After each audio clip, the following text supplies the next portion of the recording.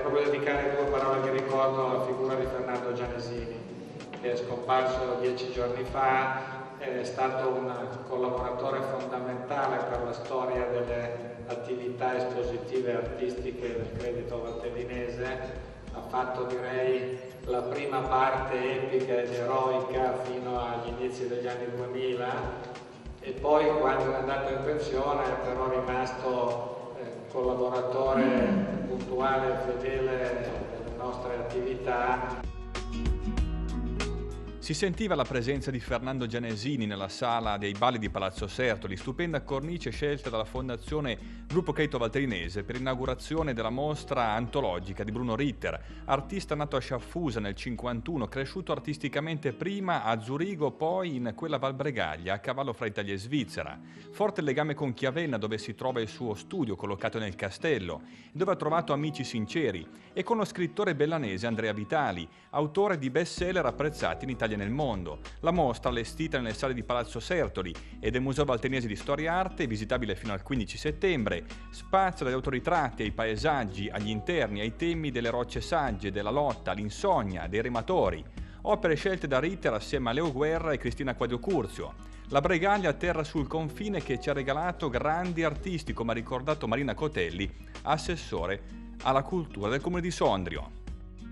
Devo dire che era un po' che pensavamo di chiedere a Bruno Ritter eh, i, quadri per fare una, una, sua grande antologica perché in effetti eh, questa sua scelta di mh, mm, andare a vivere in Bregaglia e inserirsi in quel grande solco in cui, che vede in questa piccola valle concentrarsi nei decenni da, da Segantini a Giacometti a, a Varlen a, a grandi pittori che hanno fatto la storia dell'arte europea è, è, è, molto significativa e quindi eh, poter poi eh, avere e realizzare una, una, sua esposizione a Sondro dopo aver esposto nelle grandi mostre degli anni passati eh, Giacometti e Verlaine ci è sembrato come dire, un passaggio eh, importante. Per un artista è facile scegliere Parigi, perché lei ha scelto Canete?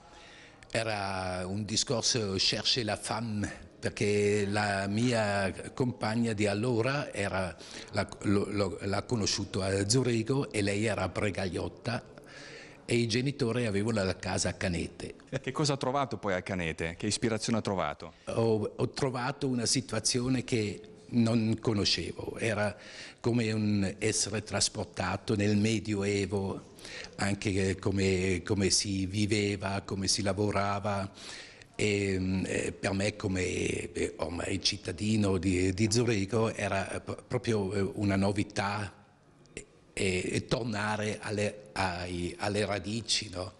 Un filo che la Lega con Bruno Ritter lungo 30 anni.